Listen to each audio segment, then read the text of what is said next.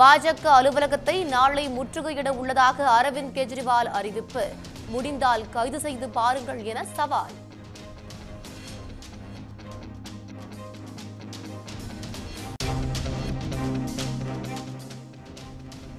வரும் இருபத்தி இரண்டாம் தேதி வங்கக்கடலில் காற்றழுத்த தாழ்வு பகுதி உருவாக.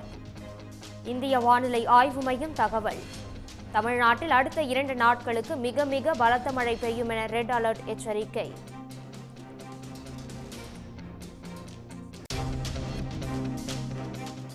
உதகை கொடைக்கானல் ஒகேனக்கல் உள்ளிட்ட சுற்றுலா தலங்களுக்கு வருபவர்கள் கவனமுடன் இருக்க வேண்டும்.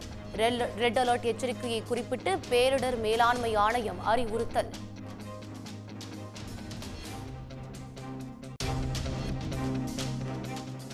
வெளுத்து வாங்கும் கனமழையால் கோவை சிங்காநல்லூர் பேருந்து நிலையத்தில் தண்ணீர் தேங்கியது.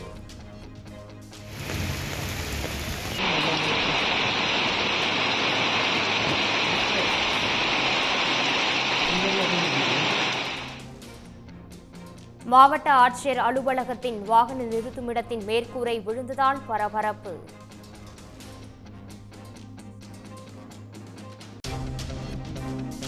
தொடர் மழையால் அருவிகள் அணைகளுக்கு நீர்வரத்து அதிகரிப்பு. பல்வேறு அருவிகளில் முன்னெச்சரிக்கையாக சுற்றுலா பயணிகளுக்கு தடை.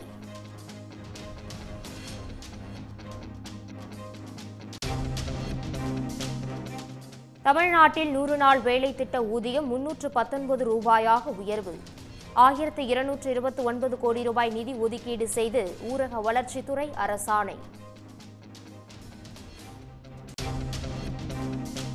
பாஜகவில் பிளவுவாத கனவுகள் ஒருபோதும் பலிக்காது என முதலமைச்சர் மு க ஸ்டாலின் திட்டவட்டம்.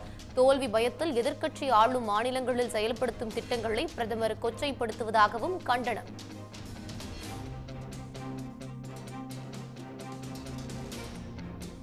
உடனுக்குடன் செய்திகளை தெரிந்து கொள்ள சன் நியூஸ் பெல் ஐக்கான கிளிக் பண்ணுங்க.